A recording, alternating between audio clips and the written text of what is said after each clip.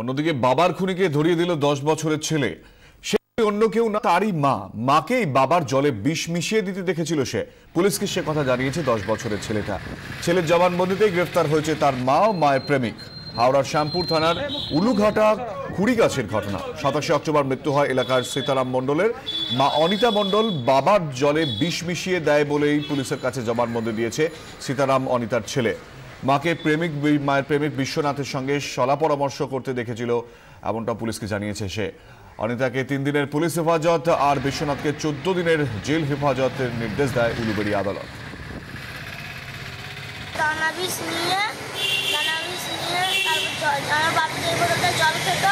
তাতে নিয়ে গুলে দিয়েছিল। এবার আমার মা। আচ্ছা।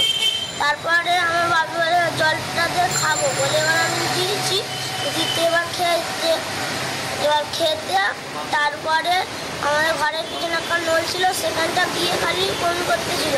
বমি করতে করতে তারপরে বলে তো আমার বাবা বলতেছিল তোর মাকে হসপিটালে নিয়ে যেতে বল না বললে এবার আমি আমার মার কাছে গেছি। গিয়ে বলি, বাবা হসপিটালে নিয়ে যেতে বলতে নিয়ে চল না বলে, না, ও মরুক গে।